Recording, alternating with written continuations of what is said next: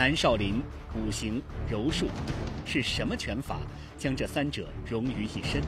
行持功的名称又有着怎样的由来？而历史上，福建莆田是否真的存在有南少林？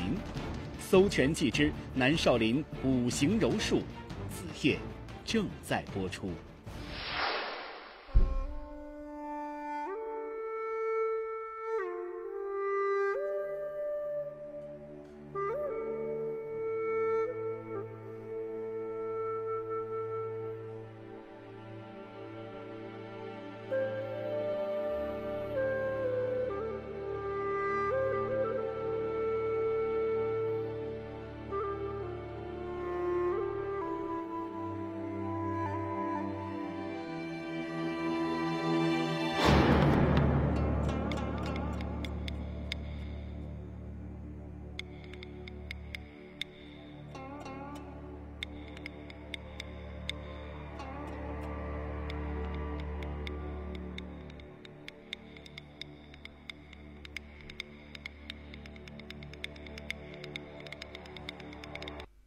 好，谢谢。好，谢谢老师。谢谢。灯火阑珊，子夜有声。观众朋友，大家好，欢迎大家如约走进今晚的子夜。刚刚开始的时候，这位武林高手在这个前台给我们打的这一套拳法哈，叫做南少林五行柔术。先来说说为什么叫这么长一个名字，这么多个字儿。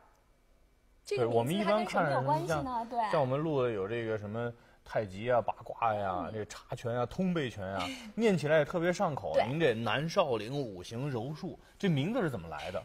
南少林五行还有柔术，这分别就是代表这个拳术的几个不同的不同的特点。南少林、南少林五行柔术是对各种特点。南少林是说的是它这个这个传承的来源啊，它是属于南少林的这个武术谱系里面的一种。五行呢，属于它理论中理论的这样一个来源，比方说金木水火土呀这样对应的这样一些。为什么跟金木水火土有关系呢？这五行它就是。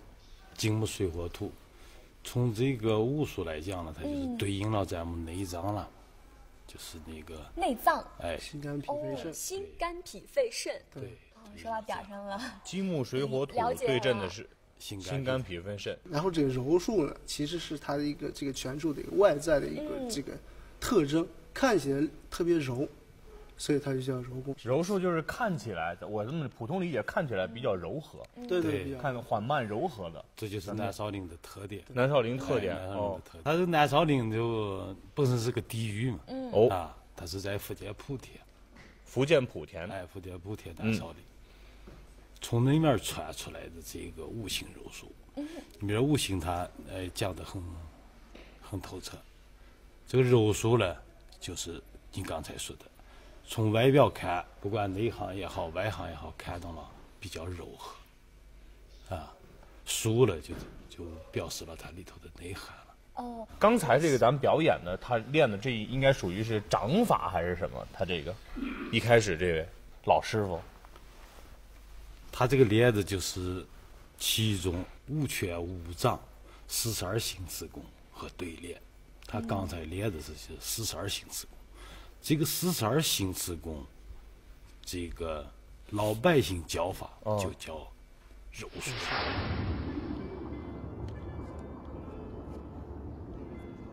好嘞，哎妈，梨花开瓣，起左手，提牛丝，慢一点。每天清晨，在太原市玉门河公园。都有这样一群武术爱好者在跟随一位长者习武，而这种看似轻松缓慢的操练动作，却有个响亮的名头——少林功夫。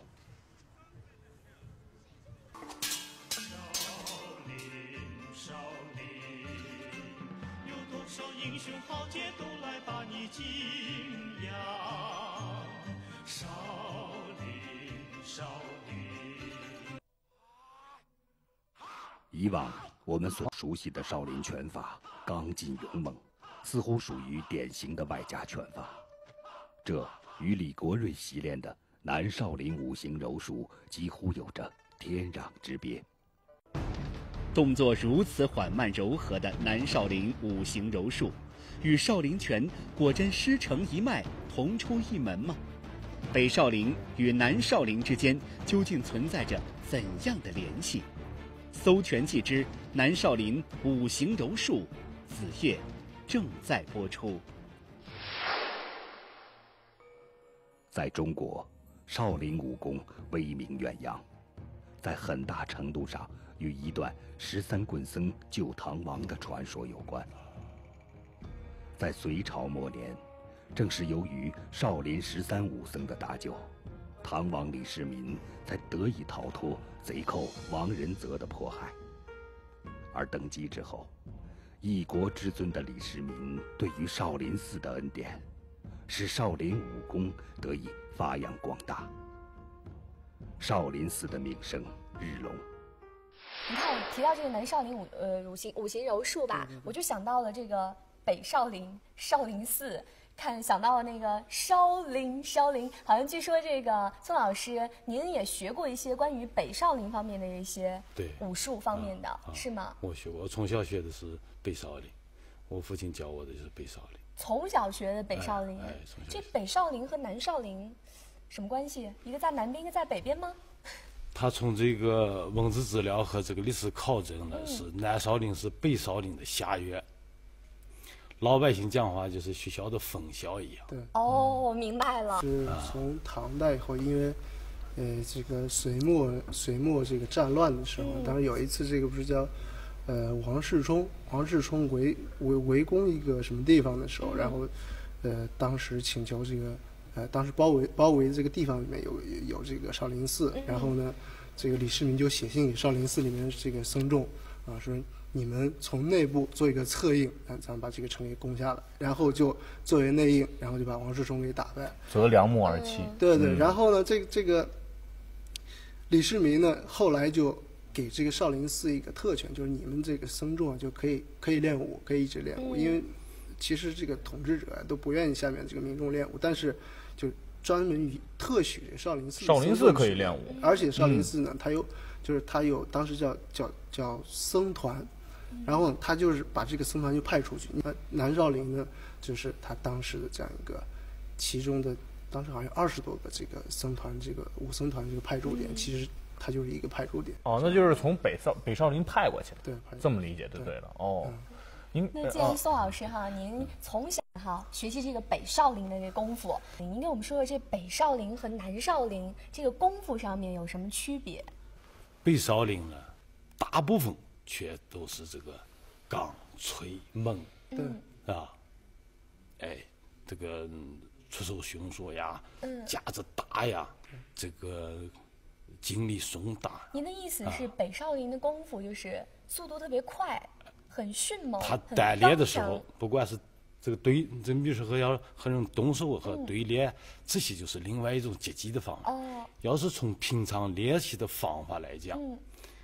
大部分是这个北方和南方的这个截然不同，就是两种境界。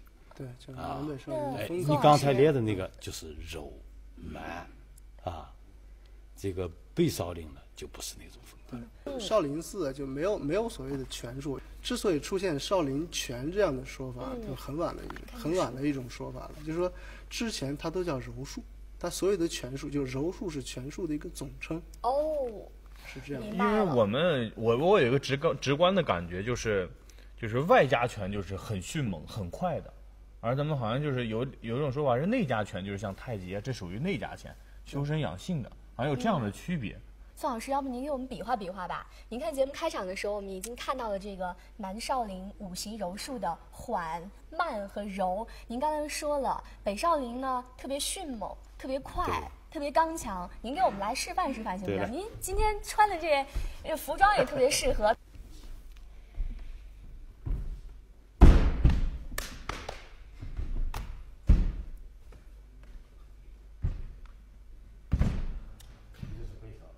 哦，这是北少林。嗯，我们看南少林。哎，这就是五行柔术。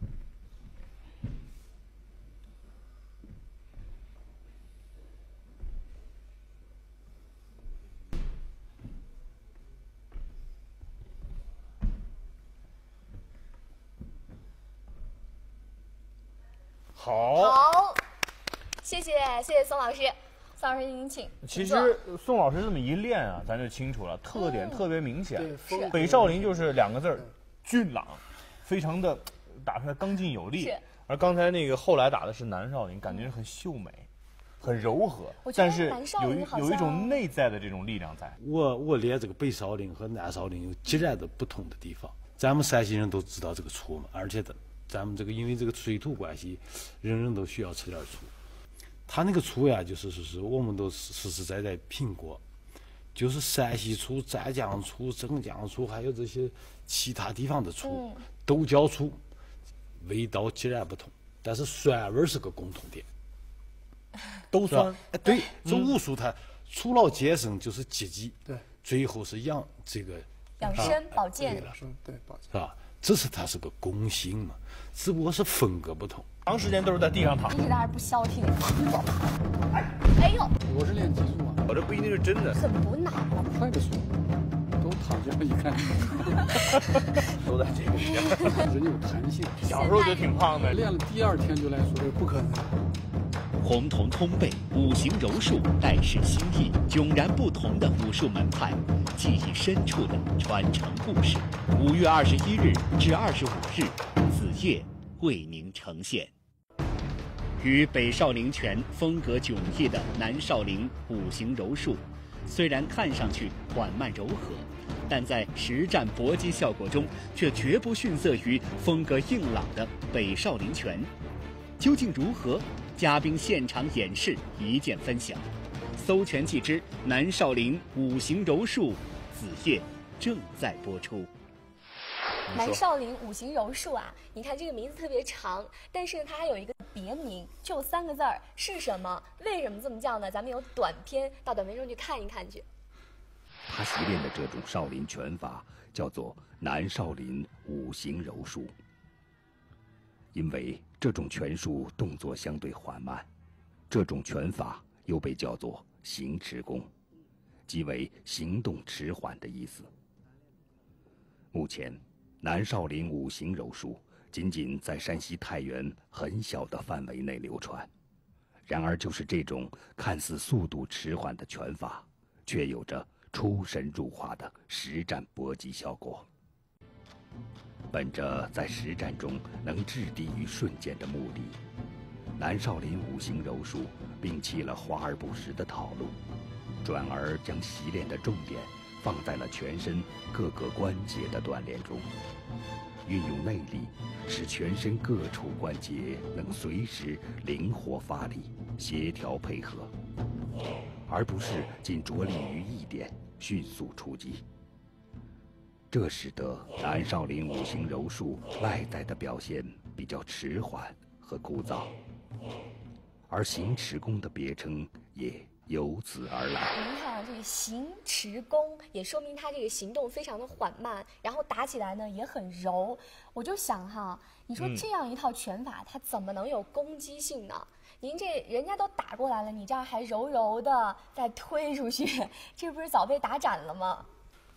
这个行迟功，其实不是那个意思。对，它就是心就是动，动哦，迟就是慢。慢，人的心这个生理结构是什么况情况呢？就是快到极点就慢了，哎呦，很有慢到极点就快了。快到极点就慢了。这人和季节是个最大的区别。那您这么说，我的理解是说这你套拳看的是慢，它爆发的时候用的时候它就快了。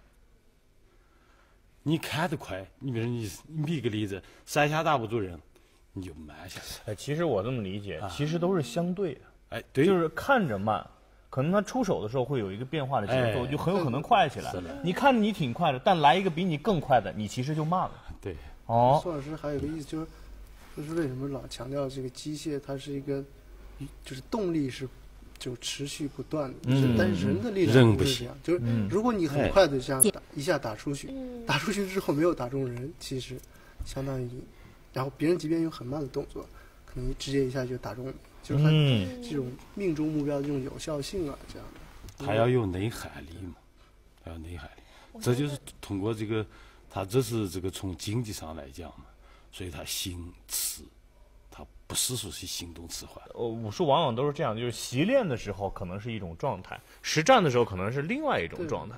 比方练法呀、嗯打法呀、演法呀，不同对不同，就是不同的套路啊，什么的风格都甚至都既然在实战的时候跟我们练习的时候不太相同，刚才已经练了，给我们来段实战的吧，我们来看一看。听说宋老师您今天也带了这个专门跟您对战实战的这样一位师兄 师兄弟过来，呃，请上来吧，给我们来段实战看这个的欲望特别强。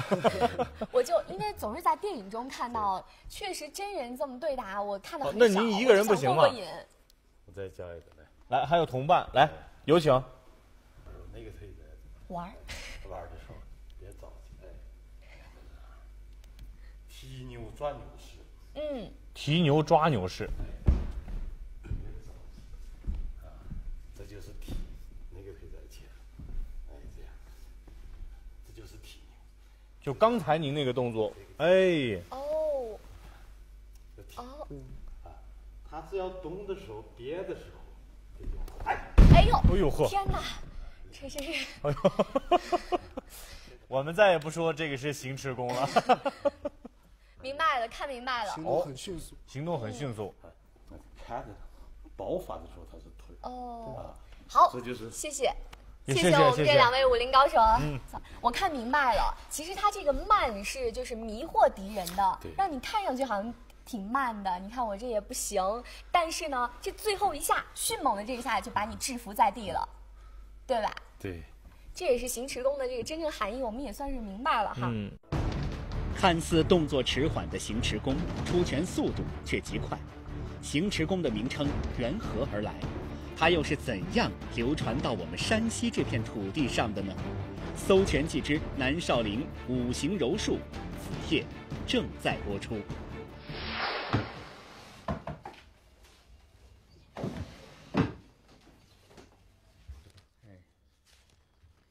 你看这个拳谱呀，这是我师爷的亲笔啊，亲笔的手抄。您师爷是呃，师爷是董秀少，啊，师爷是董秀少。你看这就说是师爷呢，自幼喜爱武术，在清光绪辛丑年，呃，到了这个燕京，就是咱们现在的北京，福建，就是有李志英先生，开始才知道有五行柔术，从而受压也就是拜李志英为师。考其所制约了是先生之祖啊，他的爷爷就是少林妙丹禅师啊，有个妙丹禅师，而先生三世灭灭，啊，无传他人，故了现在世世人少知。一本泛黄的拳谱，就是目前南少林五行柔术全部的记载。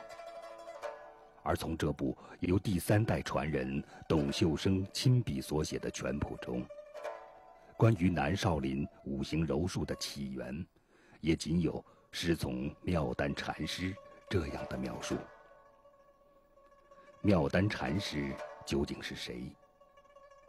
翻阅典籍进行考证，一个更大的困难摆在面前。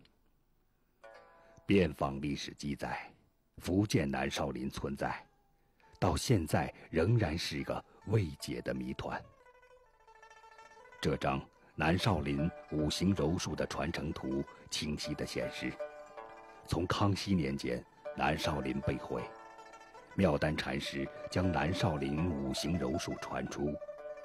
到第六代传人李国瑞，习练南少林五行柔术的弟子并不是很多。福建兴建了多处南少林寺庙。据记载，由于后来清朝康熙皇帝的焚烧，如今在福建全境已经无法找到一处南少林的踪迹。而福建南少林究竟在哪里，至今也成为学术界争论的一个焦点。刚刚也知道了，这个南少林呢是在这个福建。那现在南少林还在福建吗？还有没有这个旧址了？传说是烧了的，烧了。哎，什么什么年代把它烧了？为什么就烧了？康熙年间好像，乾隆年间、康熙年间嗯烧了的。这火烧火烧南少林这就是这个传说啊，本身来说，呃，它一叫传说，也就是说它其实有很多东西就是和原来的事实有出入。当时呢，这个火烧南少林，按它按这个现在来说，就是真正有资料记载的，这个资料是在广东三合会的会部。什么叫会部呢？就是这个呃一个地下的这个会党。然后这个资料里面呢，说是这个呃清朝的清朝清军啊，就是把这个南少林给烧烧了以后，然后南少林呢有有所谓的咱们看新少林五祖啊这样的人，然后呃从这个被烧毁的少林寺里面逃出来，然后把这个南少林的武术这个开枝散叶这样的。从这从这个资料上来看，但是这个资料呢后来被证明是就是三合会会部就是附会的，所以就是说从史史实上来讲，就是清军并没有烧过这个南少林。但是我们听说传说就是烧了这个少林寺，当时的清军烧过少林寺，哎，烧过福建莆田这个南少林，哦烧了以后，他就跑出来四个和尚。嗯我们这一支就是苗丹和尚传下来的，哦，你们这一支就是 少林那逃出来寺祖的四个和尚传下其中的的一个苗丹禅师，哦他传下来的。妙丹禅师。哎，他后头跑出来以后呢，他就跑到河北了。嗯，跑到河北以后呢，就教了一个人叫李恩元。李恩元又教给他的孙子，中间这个这个他这个儿子辈儿呢，也不知道是什么原因，咱们也不太清楚，就是没有教。但是他孙子和他学了，学了以后呢，他孙子又跟这个我们这支就是咱们山西太原泰国人，到叫董修生。这个董修生呢，又去河北，他跑到河北来不是就是，就是就这个苗丹禅师。对，嗯这个董修生又去河北学了的这个东西，哦，学了这一个这一套，就这样传回咱们山西来。您当时听到的这个是就是烧这个南少林是什么样的原因？什么样的原因？就是嗯。当时就是反清复明，反清复明，那和你的原因是一样的。对，也就是说，就是不管这个就这个传说是真还是假，嗯。但是有一个东西是可以确定，嗯。也就是这一群人，不管是三合会，其实嗯。所所谓的三合会和和洪门啊，这样就是这些东西都有很很很多的联系，嗯就是他们肯定这群人是反清政府的。嗯。啊，就这点是非常确。就是非常确凿但是至于说有没有火烧南少林这回事事呢？就是说资料上没有就明确的记载，包括我们刚开始刚刚刚才在外面也争这个问题，就是说，包括有没有这个妙丹禅师这个人嗯。啊，或者说现在呢，就是说现在提到妙丹禅师，就只有一个地方，就是董秀生先生的这这个你这个资料是这个你整理的还是国家整理的，还是考证出来的？不是这个你你你能拿出来让我们看看？哥，您看，这外面就对可以掐，到这儿还接着对掐可以可以。可以，就是这个说法在维基百科里面，就是维基百科就提到这些东西，就是包括火烧南南少林，维基包括百科都有。对维基百科有，就维基百科就、就就他对讲这些事情的时候非常我想和你说的意思就是，你比如你所说的也是民间传说。关于这个武术资料呢，就是啥呢？尤其这个解放以后，咱们以前这个武术从咱们国家就不叫武术，就叫国术嘛国，术，嗯，叫中国的国粹，所以叫了个呃国术。民国的时候叫国术。刚才这个彭程对于这个火烧南少林有一个说法啊，这个我们的宋老师对这个传承也有一个说法。其实不管说法怎么样，我们需要就是说是不同不停的去传承，而且有经验这样的人可以把这个呃武功可以去发扬光大，是这样的。对，宋老师意思是搁置这个来源的争论，哎，咱不用争他是谁，哪儿来的了。就看这个拳好不好。哎，就是看拳好不好，对，但是你们这个拳练的特别怪，是不是？怪在哪儿啊？刚才你说，我们看着挺好的呀，这不怪啊。哎，这个不怪。你还没有看见他怪的时候。哎，你想不想看一看怪的时候？啊，特别想。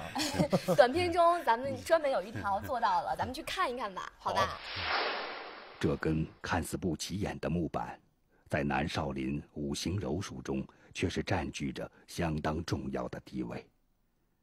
因为在这上边习练的南少林五行柔术木板功，会为这种拳法增添巨大的杀伤力。这种看似怪异的动作，并不是习武之前的预热练习，而是南少林五行柔术最为基本的四十二个动作之一。而像这种单调重复的习练，则是保证南少林五行柔术在对抗当中，能够随意的缠绕对方，能够利用弧线的行拳原理来破解对方的攻击。一根用普通麻线密密麻麻编织而成的辫子，长约丈余，是五行柔术习练者必备的练功用具。这种功法叫做麻辫功，是南少林五行柔术中最为基本的习练方式之一。习练者对柔软的麻辫发力，在反复的缠绕中，感悟的正是南少林五行柔术最精华的武学秘诀。如此奇特的练功器具，您见过吗？如此独特的练功方式，您尝试过吗？究竟蕴藏着怎样的玄机？嘉宾为您现场讲解。搜拳记之南少林五行柔术，子夜正在播出。我们在短片中看到了这个动作，的确像彭程说的，就是真的是有点怪怪的哈。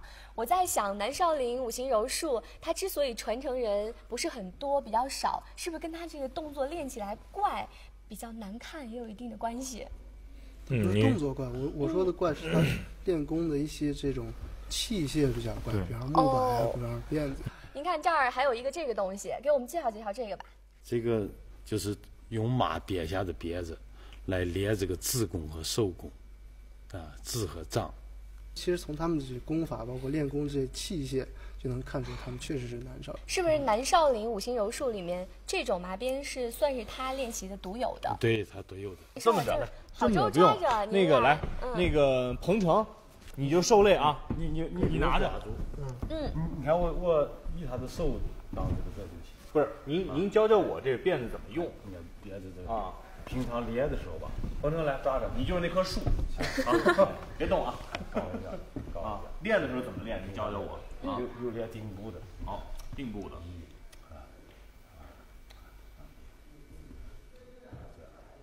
这有点像抚摸头发的感觉，柔柔的、顺顺的。哦，我我试试。这定步，哎，哎，这样的。完了还有呃，宋老师，这样，宋老师练这个动练这个动作就是。这个动作咱们叫什么呀？这是绿马鞭嘛？绿马鞭哎，绿马鞭，哦，那就是其实就是实战当中，这就相当于人的一个胳膊。对，那就是我们这个这个东西，其实是在我们的练习当中是一个最基本的东西。哎，对四十二个动作里面，您刚才说的全都是包含在其中的。对，还有什么其他的吗？就比较比较有意思的这个招数，比较我们说起来好像有点怪怪的这种。他这个怪的就是又一个叫定膝抽通，啊，定膝抽通。你比方刚才，顶膝抽臀，哎，哦，顶膝抽痛，定膝抽痛。您给我们比划比划。我们比划一，下。什么是定膝抽痛？嗯。顶膝，抽通，就是顶着膝盖和抽通。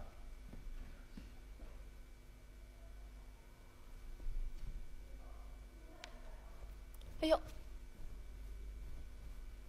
嚯！哇哦！顶膝超臀，你要三江脚海这个人们都能这个。对，这个光看名字想不出来。这是翻江搅海海。形意里面厌世挺像。哎呦，漂亮！这个南少林五行柔术哈，和这个太极拳有点像，都是缓缓的、柔柔的、慢慢的。这两者之间就是能区别出来吗？反正我这个外人看，我觉得挺难的。您二位专业了，对，算是，我有没有这么一种可能，就是这个，呃，董呃董老师传承这个五行柔术的时候，因为他是因为他练形意和和太极，他都有这样的这这样的这种拳种的练习，会不会对原来的五行柔术会有一些改造？